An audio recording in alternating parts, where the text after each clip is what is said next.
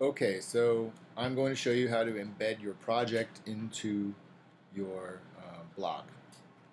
So essentially I'm going to go and get the code. So in my UBD, which should be on Google Docs, here's what a UBD template looks like.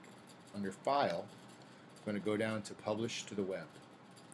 Publish to the Web is uh, where I will get this embed code. So down below. I will go and capture this code. I will copy it, and now I have it. And trust close.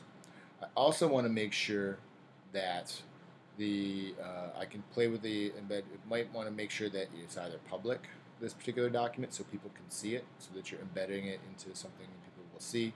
So it's a good idea to make this particular document public. I'll go back and change this when I'm done. So I've already got my embed code.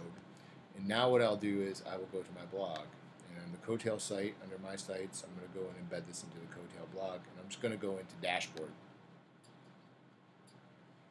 Dashboard will take me to where I can do my posts. And I will go to add new post since this is something important.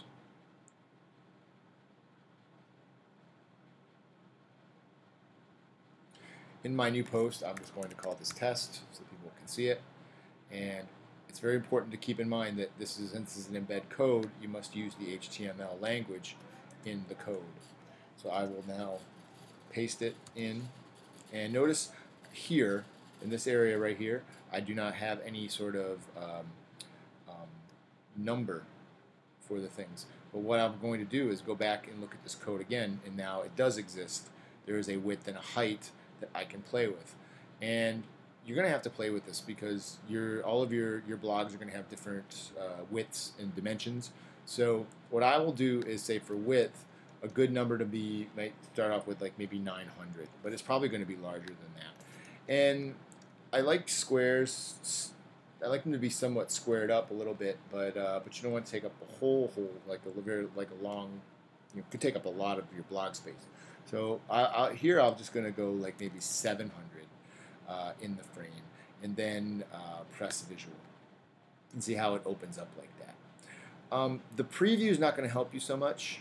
Um, so what I tend to do is publish it and kind of just then just go trial and error from there. So you've put your code in and that's kind of what it looks like. Um, I'm going to go up and I'm going to view post and it's probably not going to look perfect because like I said you're going to have to go back and change those numbers. And so in the post notice I put it here. This is not too bad you actually get to see it and it's really long. Um, a number of you are saying that you have issues with how scrunched up it is.